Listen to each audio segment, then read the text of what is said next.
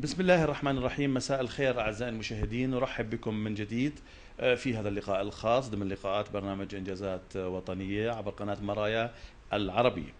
ونحن الآن في العاصمة عمان وتحديدا في منطقة جبيهه في ضيافة كفاءة أردنية جديدة ومعي الآن سعادة الأستاذ المحامي منيف الطراوني طبعا والأستاذ منيف من آه، أبرز المحامين في آه، مجال النظام والشرعي وفي مكتبه الخاص. مساء الخير أستاذ منيف. مساء الخير وأهلا وسهلا بالجميع. سيدي بالبداية الأستاذ المحامي منيف الطراوني يعني وأنت غني عن التعريف وأشهر ما أن تعرف في آه، هذا القطاع وفي العاصمة عمان وفي محافظة الكرك بالتأكيد آه، نود التطرق للجانب الشخصي الاستاذ المحامي منيف الطراوني نتحدث عن مكان الولادة الدراسة آه، يعني أبرز دورات شاركت فيها والعائلة الصغيرة كم لديك بالأبناء أهلا وسهلا فيك. ابتداء الاسم منيف المحامي منيف محمود موسى الطراوني مواليد الكرك عام 1970 آه، درست بداياتي في قرية من قرى المزار الجنوبي في الكرك. آه، انهيت المرحلة الثانوية ودرست المرحلة الجامعية في جامعة بغداد آه، وخريج 1993 من جامعة بغداد. وبدأت التدريب انتقلت بين بعد انهاء المرحلة الدراسية الجامعية آه، انتقلت إلى عمان للتدريب فيها تدربت في عمان وأنهيت التدريب في السبعة عام 1997 وافتتحت مكتبي ال- اللي أنتم ضيوف الآن علي فيه عام 1999 ولغاية الآن أنا محامي مزاول في مهنة المحاماة. أستاذ منيف يعني آه، نتحدث عن هالمكتب. آه، أنت متخصص في النظام النظام الامني والشرعي أبرز ال- ال- ال- القضايا اللي بتراجعكم اليات العمل فرص تدريب المحامين عدد المحامين الموجودين هون. آه، تقريبا إحنا بنعمل في كافة يعني كونه مكتب متكامل فبنعمل في مجال جميع مجالات القانون من آه، الترافع في المحاكم النظامية والمحاكم الشرعية والمحاكم ال- الإدارية ومحكمة ضريبة الدخل والمحاكم العسكرية بالإضافة إلى آه، قضايا مراقب الشركات تسجيل آه، الشركات. طبعا آه، أكيد يعني آه، ما بقدر هذا العمل كله أني أستطيع القيام فيه بنفسي لولا مساعدة زملائي وزميلاتي اللي موجودين معي بالمكتب. آه، تقريبا بحدود في أربع زملاء وفي زميلتين عندي بالمكتب بيساعدوني في العمل في مجال القضايا والدراسات الموجودة عندنا في المكتب. دكتور نتحدث عن دكتور بقول إن شاء الله بصير دكتور أستاذ منيف نتحدث عن آه، الضمان الاجتماعي. الآن آه، اختصاصك في هذا المجال تحديدا. طبعا أنا بصفتي وكيل يعني للمؤسسه العامة للضمان الاجتماعي. آه، طبعا الضمان الاجتماعي الآن هو تقريبا في كل بيت أردني موجود. في شخص منتفع بالضمان. ومجالات قضايا الضمان الاجتماعي مجال واسع كثير يعني لا يسع إنه الحديث فيه في خلينا نقول آه، باختصار إلا إنه أنا آه، آه، مهمتي تن- تنحصر فيه هي الترافع عن المؤسسة العامة للضمان الاجتماعي وتحصيل ال- المبالغ المالية التي تترصد لها في ذمة المنشآت المشتركة في الضمان في حالة التخلف عن دفع هذه الاشتراكات. وكذلك تمثيل المؤسسة في القضايا التي ترفع ضدها في المحاكم. أستاذ منيف نتحدث عن علاقتكم بالمحاكم الآن. آه، بما يخص موضوع لا- أحد يختلف طبعا على نزاهة القضاء الأردني. نتحدث عن هذه العلاقة نتحدث عن موضوع تجمع المحاكم القضايا العالقة بالمحاكم بشكل عام.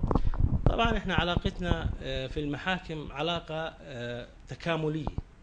يعني إحنا والسادة القضاة بنكمل بعضنا البعض. يعني لأنه في إحنا نسمى في القضاء الواقف وهم القضاء ال- الجالس يعني. فإحنا علاقتنا تكاملية يعني اثنيناتنا بنكمل بعض. وفي تعاون يعني آه، بيننا وبين القضاء وفي أمور قد يعني آه، تحتاج إلى المحامين آه، ووجوبا يعني التوكيل فيها.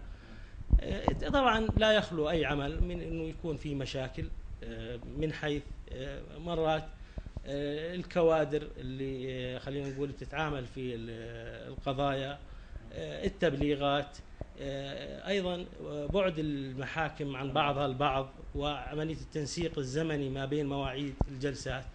فحقيقة إنه هذا إحنا يعني آه، آه، نتغلب على هذه المشاكل من خلال التعاون مع زملائنا القضاة وزملائنا اللي في في المحاكم موظفين وزارة العدل والمحاكم بشكل عام. أستاذ منيف يعني بما يخص موضوع قانون المالكين والمستأجرين كثر الحديث عن هذا الموضوع. يعني ما الجديد في هذا الجانب؟ آه، الحقيقة أنه لا جديد يعني بالنسبة للتشريعات إلا أنه بصراحة في هناك في آه، مشاكل كثيرة لغاية الآن يعني. في قانون المالكين والمستأجرين. آه، آه، لدرجة أنه أحيانا كثيرة أنه أنا ما بعطي ما بقدر أعطي استشارة لأي شخص على التليفون إلا إن إذا يحضر لي آه، عقد الإيجار. لأنه عقد الإيجار هلأ عندنا عندنا أكثر إحنا الآن محاكمنا شغالة على أكثر من ثلاث أو أربع قوانين مالكين ومستأجرين. فبدي العقد الإيجار حتى أعرف شو القانون الذي ينطبق عليه.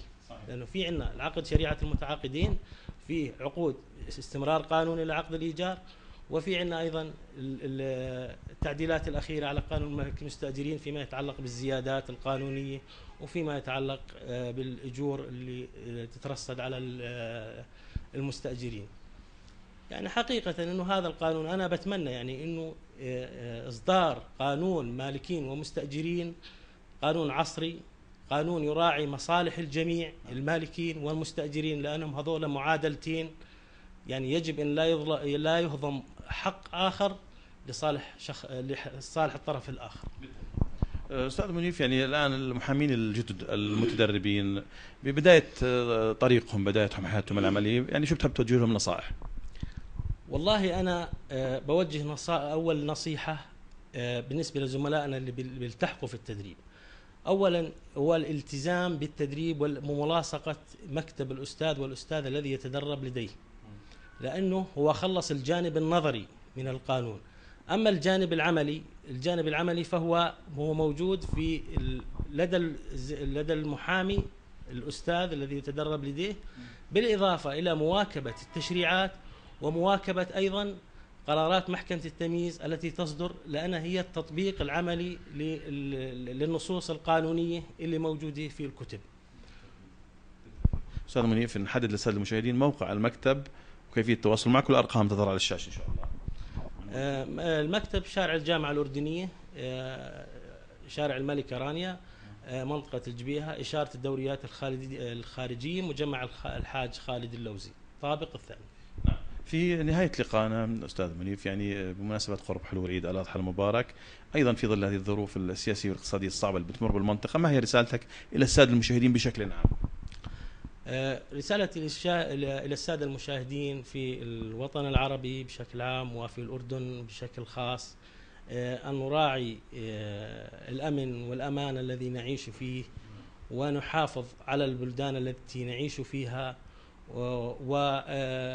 والانتماء بشكل أكثر وأكثر للأمة العربية وسلامتكم الله يسلمك. طبعا أعزائي المشاهدين آه، يسرنا في نهاية لقائنا نتقدم بجزيل الشكر والامتنان لسعادة الأستاذ المحامي منيف الطراونة.